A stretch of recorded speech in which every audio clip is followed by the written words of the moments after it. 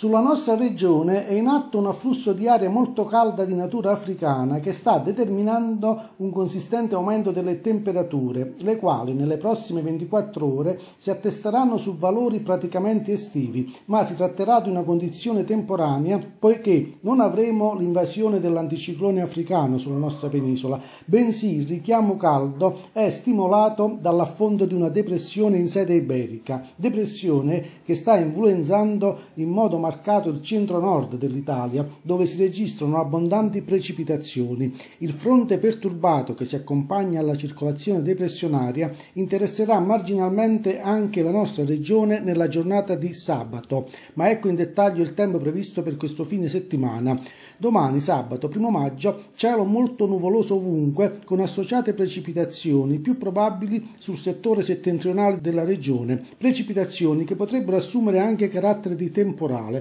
temperature in diminuzione dal pomeriggio, venti inizialmente da scirocco tenderanno a disporsi da ovest con intensità moderata, mare da poco mosso a mosso.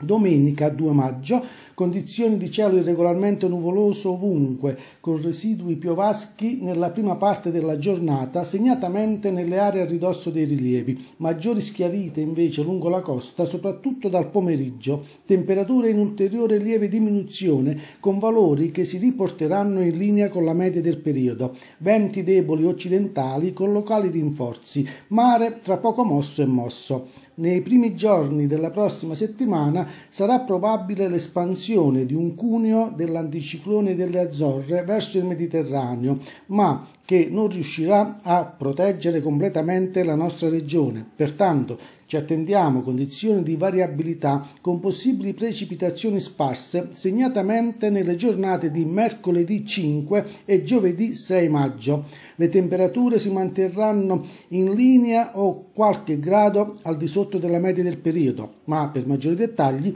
invito come sempre i telespettatori a consultare i prossimi aggiornamenti che verranno pubblicati sul sito